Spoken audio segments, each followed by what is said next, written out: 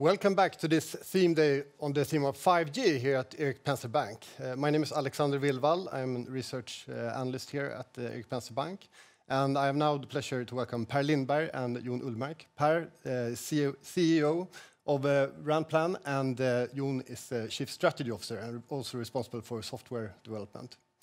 Very welcome, and please, the floor is yours. Thank you. Thank you.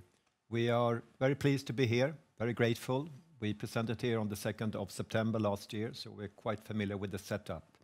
Uh, today I have uh, John with me. John is the head of software development, and he will take you through some illuminating examples uh, later on, so-called use cases, and he will also explain why we embrace openness, in the truest sense of the word, and also how we intend to capitalize on the power of cloud computing, artificial intelligence, and machine learning. Before then, it is my honor to introduce you to Ranplan. After that, I will um, brief you on some of the enablers, what is needed for 5G, and the overarching vision, the nerve center of society. And finally, but perhaps most importantly, on the private wireless, dedicated, tailor-made wireless networks, mainly for industrial applications, something that we truly believe we will uh, help to perfect. Perfecting wireless networks, incidentally, is a mission statement that we want to convey and we want to be associated with.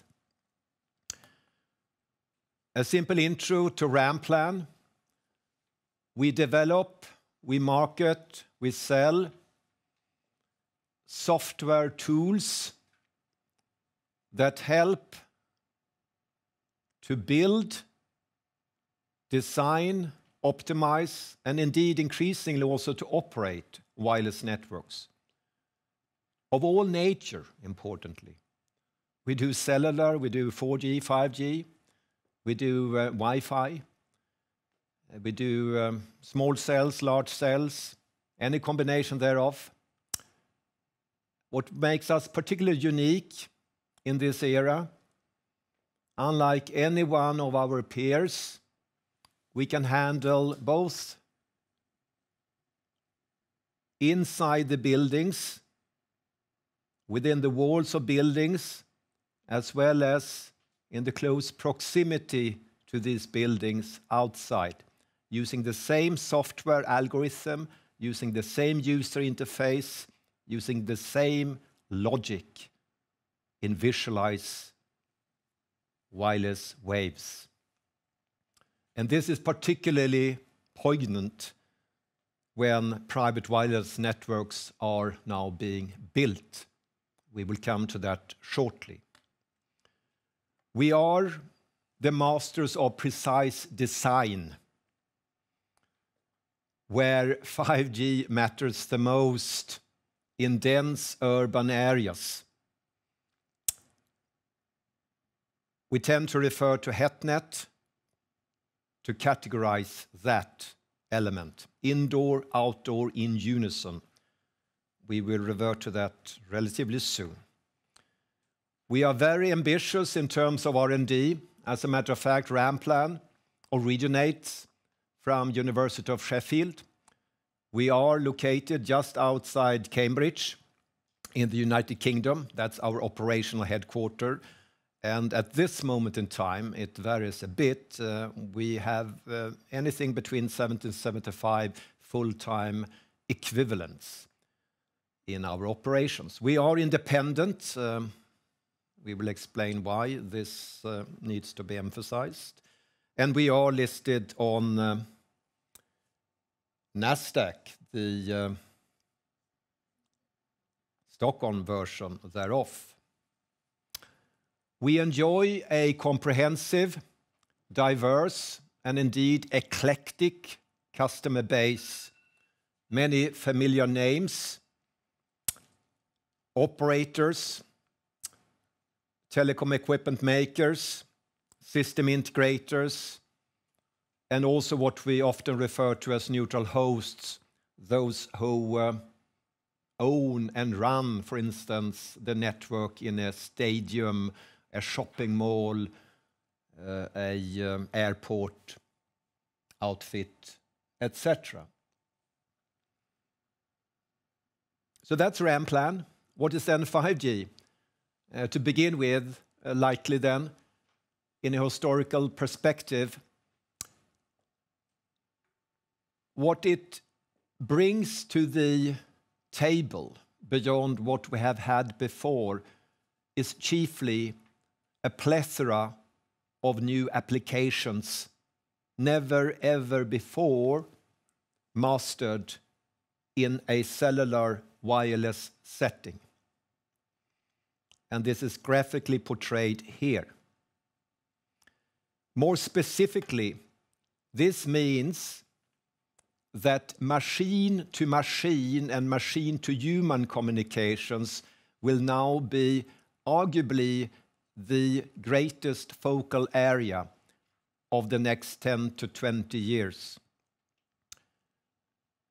That, in and by itself, the right hand on this chart, means from a Ranplan and our peers' perspective, that the importance of very, very careful planning, think before you act, think before you build, will be catapulted compared with the past. Because a machine connection cannot be jeopardized, compromised.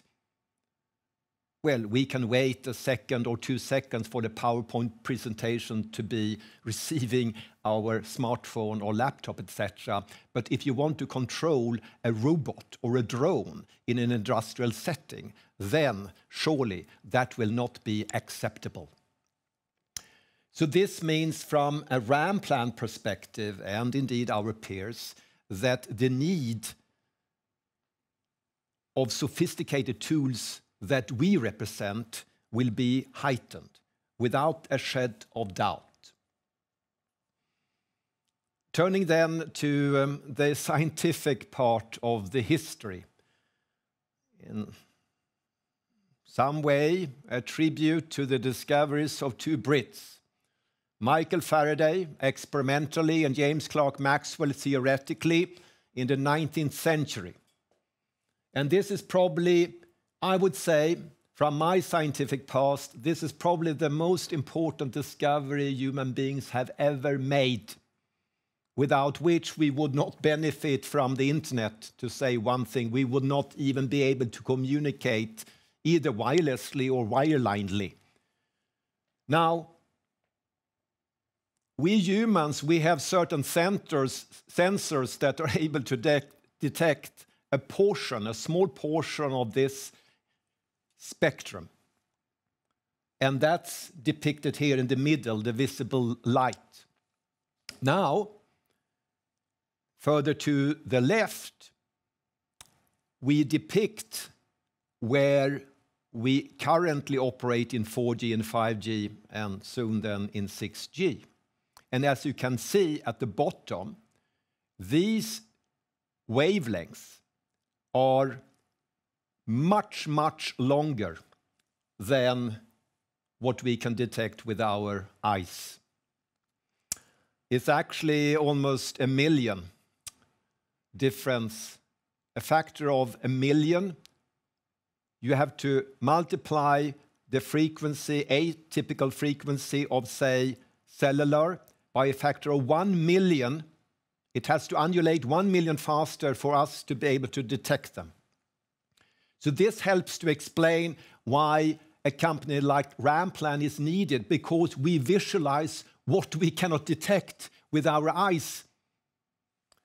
And then, just for illustrative purposes, further to the right here, we have X-rays and gamma rays, and as we all know, they don't penetrate the body, at least not the skeleton, etc. Why? Because these waves, they undulate so fast, so they have a lot of energy, and the more energetic they are, the faster they are absorbed in the in the ambience.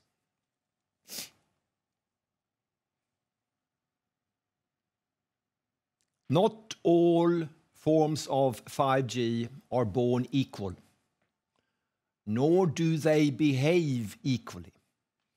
So often, the term 5G is too generalized. Two extreme examples. Low frequencies, here labeled sub-6 gigahertz, they are not so much perturbed by physical objects. They travel relatively easily. They can bend and curve, etc. The limitation is more on the capacity compared with the high end of the spectrum, also known as millimeter wave, which has the precise opposite characteristics. So they complement each other. Let me then briefly explain why there's much more capacity and throughput in the uh, high end of this spectrum. Think about me when I now speak to you. The faster I move my lips, the more information I can convey to you. But if I hardly move my lips, there's very little information I can convey per time unit. No difference here. But they do complement each other, and as you may surmise, as we move towards the higher end of this spectrum, the need for radio planning will just be enhanced because the blockages are going to be magnified. So far, as we will show you soon, the vast majority, I would say 90%-95% of what is categorized as 5G has been deployed in the low end of this spectral range, i.e., where 5G to date has not been too dissimilar from 4G. But that will change as we move to the more intricate examples and applications, one of which being uh, the fabric of society, the nerve center of society. Many venues, buildings will also capitalize on 5G arguably to a greater extent than Wi-Fi has been deployed and employed in the offices of the past. What's important for us and for our customers and our partners is the uh, blockages that physical obstacles will uh, generate. And this is our expertise at Ranplan. We understand how different forms of material affects the natural propagation of radio waves. Nothing is more exciting, nothing compares in terms of uh, feverish activities than the industrial use capitalizing on exploiting the capabilities of 5G. And I will take you through some reasons for this now. First and foremost, industrial applications, also known as enterprise solutions, attracts a number of new players, not only mobile network operators, the traditional source of service provision, not only telecom equipment makers, the Ericsson and Nokias and the Samsungs of this world, but also system integrators, enterprises themselves, and many other actors. In the middle here, you see also that there can be a number of um, variations. Also, there could be one actor here that actually runs the network. There could be someone else who builds the network, etc. cetera. Uh, so we see a lot of collaboration between actors here highlighted. It's not necessarily then um, head-on competition. There is a lot of mutual benefits here to be shared. Showcases uh, can be witnessed on almost a daily, if not hourly basis. You can Google uh, private wireless, etc. And this is just a snapshot uh, to convey the level of activity amongst others. One champion is um, the famous company Bosch in Germany, who has articulated, actually, I think it's more than a year ago now, that it will deploy 5G and actually in combination with Wi-Fi in virtually all its plants worldwide. And thereafter, importantly, it also wants to monetize that as it shares its knowledge and its understanding with other industrial companies. A question that naturally pops up then is uh, how 5G interrelates with Wi-Fi. And uh, I would say at this moment in time, 5G is largely complementary. It caters much more for supreme reliability, excellent security compared with Wi-Fi. Wi-Fi is more best effort, but we hasten to add that over time now with Wi-Fi 6 and 7, etc., Wi-Fi in the same vein will become more similar to cellular eh, because it's going to inherit and eh, emulate some of the novel features of 5G. Increasingly obvious to increasingly many, there are enormous benefits from the use of private wireless networks dedicated to specific use cases, especially then within enterprises. A premium segment, by the way. Uh, these uh, enterprises have a fairly quick return on incremental investments. To sum up then, uh, some numbers. It's still in an embryonic phase, early days, the private wireless incremental investment segment here. But we have strong reasons to believe that it will be very, very material. And if we were to extend this, say, up until the late 30s, it could well be that the private wireless segment will match, if not even surpass, that of the public. Public here, we mean the traditional networks, the telecom operators that we're all familiar with.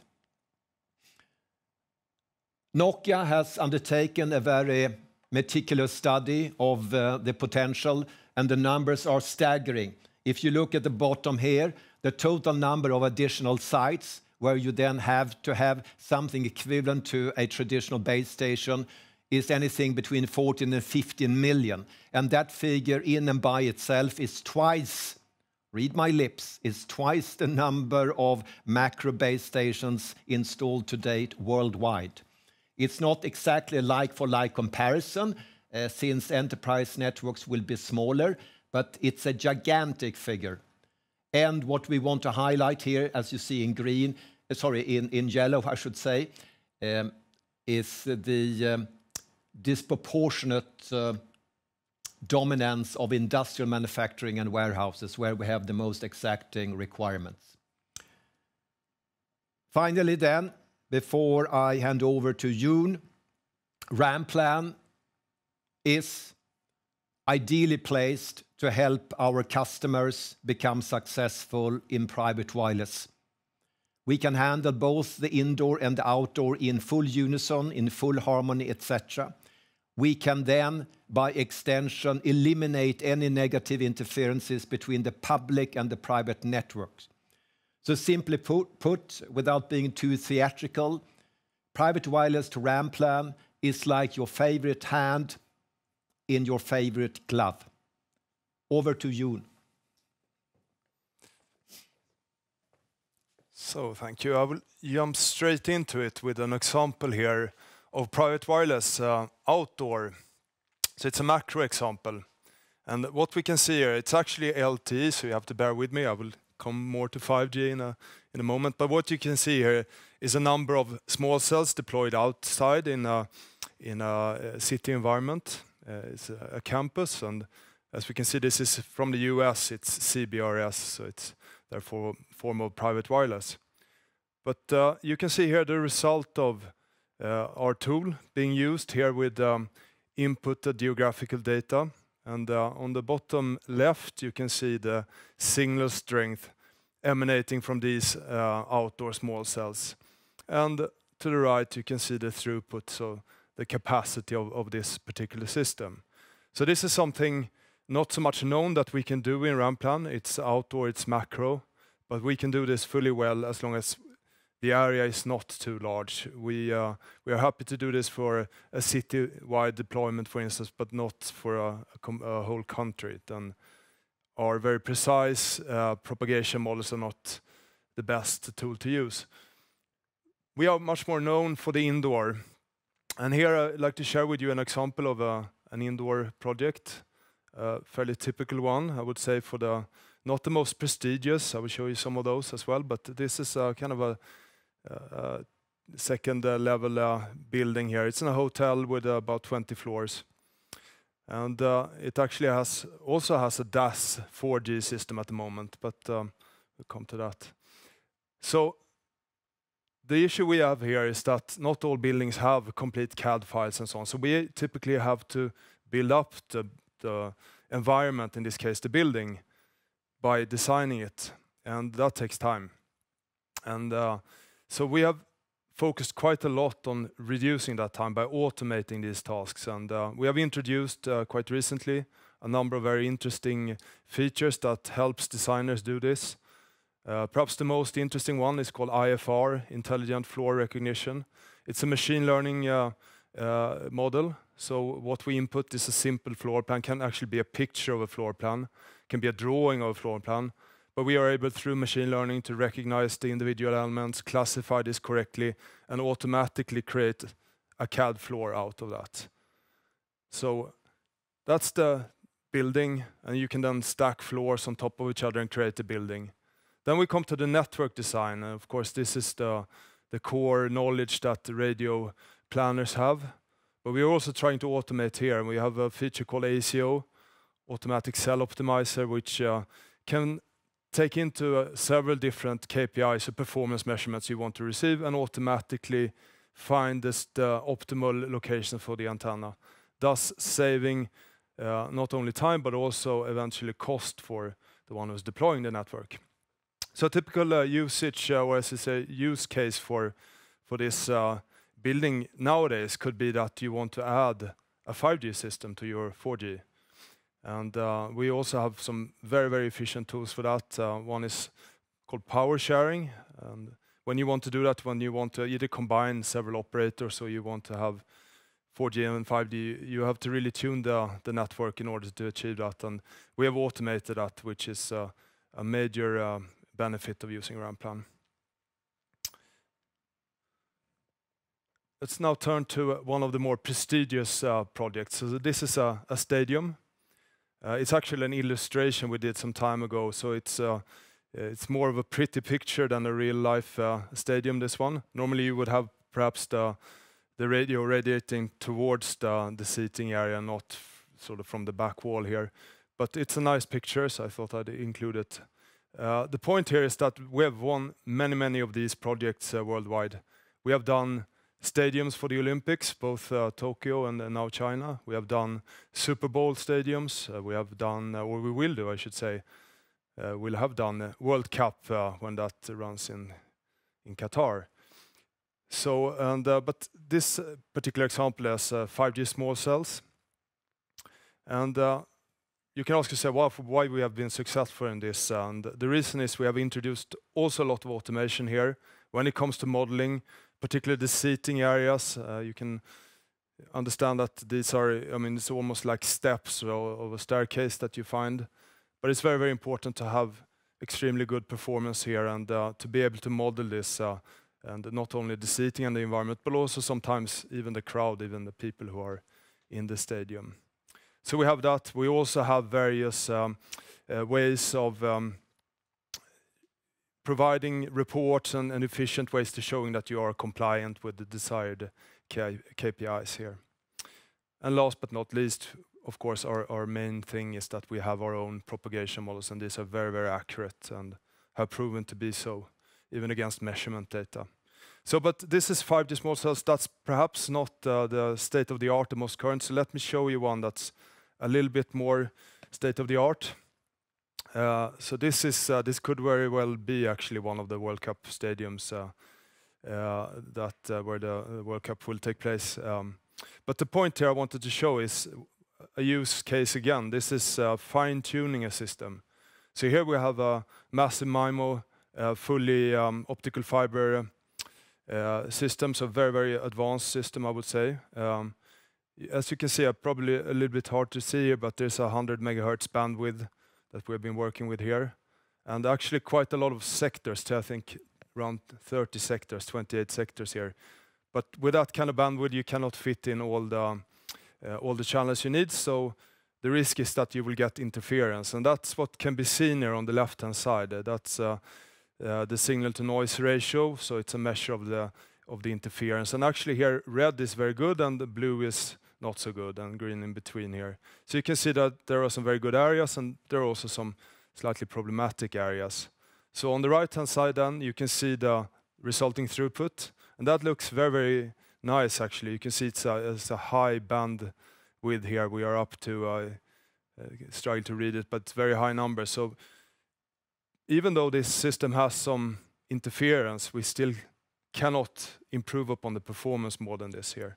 But you can see nicely that this kind of turquoise areas correspond to the blue ones on the left-hand side. So that's that's an example of a high value, very prestigious case we we do. Now we come to my favorite area. This is the cloud, and this is where I spend a lot of my time currently uh, with the development work. So we have built from scratch a brand-new cloud-native platform uh, that fully takes advantage of the latest technology, has an architecture purely built for the cloud. So we have very efficient small microservices that uh, can scale up and scale down depending on the needs, so we can fully exploit the power of the cloud, so to speak. And why is that important for us? Um, one part is, of course, distribution of this.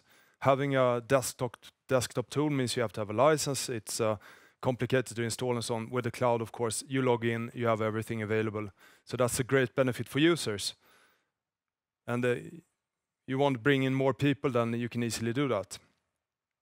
But more to the point for us, it allows us to run our propagation models very, very efficiently because these things are very good for parallelization. So you can, if you have a stadium with hundreds of antennas, you can actually calculate them one by one in parallel. So that saves a lot of time. And also it allows us to exploit some of the machine learning uh, uh, approaches we have. So um, we have very, very interesting things coming here. We will preview this in Barcelona at the end of this month at the Mobile World Congress. Just a little bit on where we see this going. So currently, we are using this to enhance our other tools. But we think gradually things will transition, and it will be more and more cloud. And uh, to offer this, we have built this so it's very flexible, so we can provide this as a service that we provide to customers, or we can deploy it at the customer's uh, premises. And we can also use this to power other people's planning tools, for instance, if there's uh, a need for that. Quick slide on O-RAN. Uh, it's been talked about previously, I think, in this uh, uh, seminar. It's very important for us. We believe in O-RAN. We are members. It allows smaller companies like Ranplan to compete with the largest players in this industry. It's really focused on the best tool for the best for the intended use cases. More to the point, it allows us really to integrate with all the key players in this industry. So that's a crucial membership that we have, and we are currently exploiting this. We are looking at something called the RIC, the RAN Intelligent Controller, which is, to my mind, the most important part of O-RAN. it can be viewed as kind of the nexus, the integration point in the RAN. And here is where there are standardized APIs. So a company like Ranplan, we can develop our optimization uh, algorithms. We can deploy them as apps. In this uh, case, they're called either XApp or RApps, depending on where they reside in the RIC. But this gives us the opportunity to scale across all the operators that have deployed a RIC, and uh, without having long integration projects and so on. So it's very, very important. And also, we actually provide something fairly unique here with the data we produce from the planning. So we we really have something to contribute here in terms of optimization. So with that slide, I'm handing back to Per. Thank you. Thank you, John. Uh, this is brilliant. And uh, as a concluding remark, uh, we are independent, unlike at least one of our peers. This means that we can help our customers to select which vendor, which supplier's equipment is best fit in each and every environment.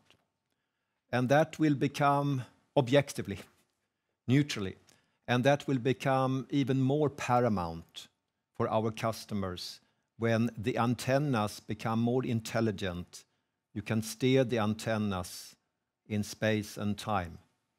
So this is something that uh, we want to um, increasingly assertively uh, convey to our customers uh, to their benefits. We have plenty of videos on the website. This is just a selection of them for anyone who wants to dig deeper.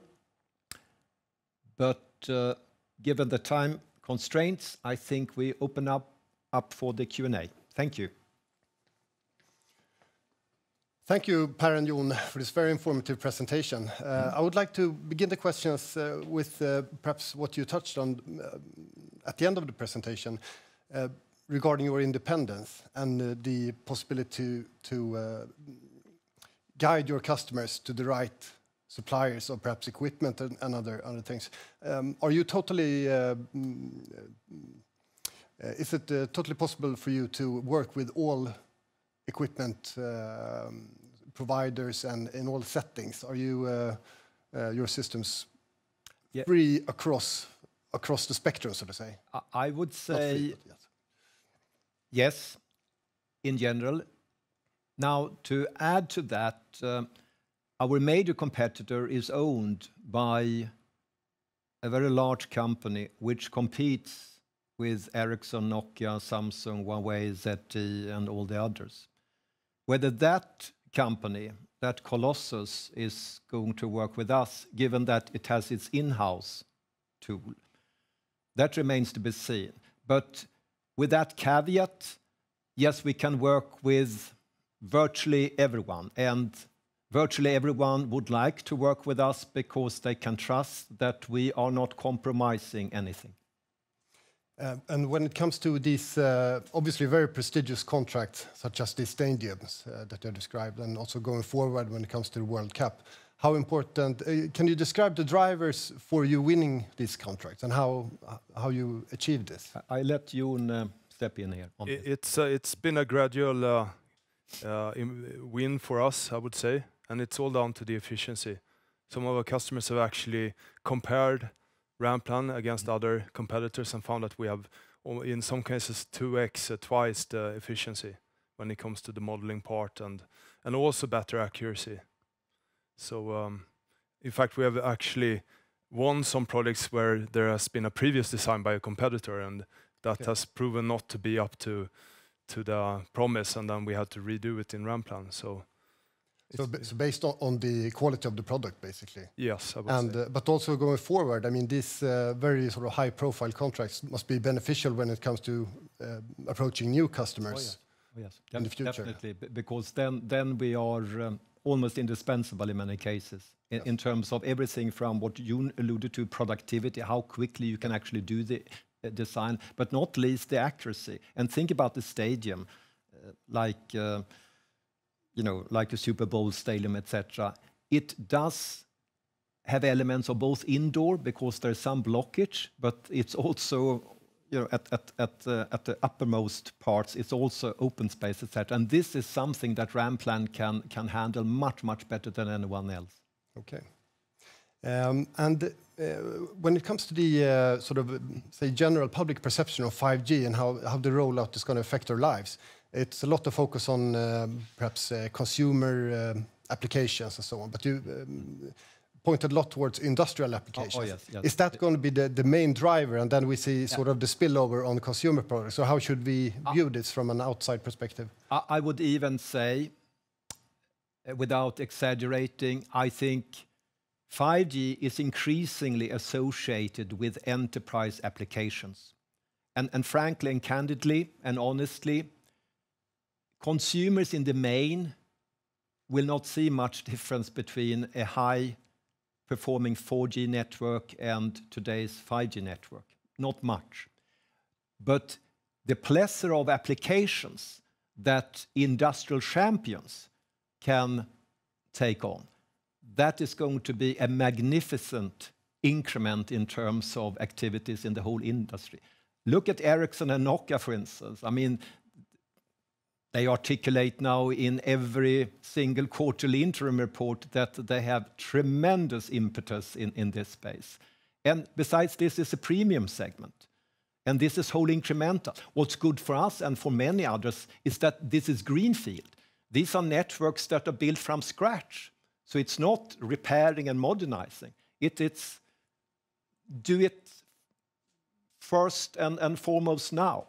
Now, in order to catalyze and energize that market, we, together with our partners and customers, we need to demonstrate that it works in certain settings. It's known as use cases or reference cases, etc., and case studies. And that we want to do together with our prominent customers and partners. Do you see any, you mentioned Bosch as an example here. Uh, do you see any specific sort of uh, traditional industries who are perhaps further ahead when it comes to uh, embracing these new possibilities? John can, for instance, warehousing, we are, uh, or whatever you want. Warehousing and smart factories, uh, I think it varies between the different markets. Some markets are much more mature. Yes. And we also see that there are different trends there. In some markets, we have been selected by the end customer who is exploiting this themselves. And in other markets, it's through the regular channels, system integrators and the OEMs. Yes.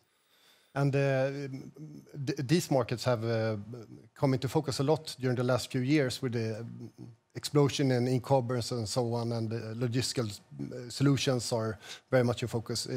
Has this sort of speeded up the attention towards these possibilities, would you say? I think also the, sorry, Per, but I think also the security aspect of it is a very important driver here for many companies. That perhaps more so than performance at this point, even though I still believe that uh, low latency and other use cases will be more important in the future. Mm. And if you look at the hyperscalers, also known as internet giants, their main emphasis now is on the industrial space and enterprise, etc. They want to move their data centers, the Microsofts, the Googles, the AWS of this world, closer to the proximity of the factories and the enterprises of the future in order also to have much quicker response times, in order to control the robots and the drones in a very timely manner. Uh, would you say when it comes to uh, cloud capacity, do you see that as being able to keep up more on a general level uh, um, with the demand for 5G solutions? So yes, so far, yes, I would say definitely. I think the industry is perhaps underutilizing the cloud infrastructure that's already out there, um, mainly for security concerns, sometimes regulatory reasons. But um, yeah. All right, sounds good. Um, and uh, to uh, sort of uh, finish off here, I would like to ask, where would you see Ranplan in perhaps a little bit longer perspective, say five or ten years? We saw these charts of potential spending into these mm-hmm. technologies. How do you see yourselves capitalizing on this? We are then a much, much broader company. We do much more than traditional uh, planning tools, PC-based. We are then running in the cloud. We can probably then also offer services on a usage basis. which will uh, which will clearly open up new opportunities for us. We also believe that uh, we are going to be able to include components like those that John alluded to now. We are going to be a component, the recommendation planning simulation component within a network management system. We also believe that we, together with uh, partners, can provide expert services, etc. We will confine ourselves to software and services. We are not going to sell hardware like our uh, biggest competitor does. Um, so we are not going to compromise that element. But clearly, we have much, much more to contribute. We are going to capitalize on the cloud. We are going to provide services on a usage basis. And we are also going to be a component within the broader systems architectures.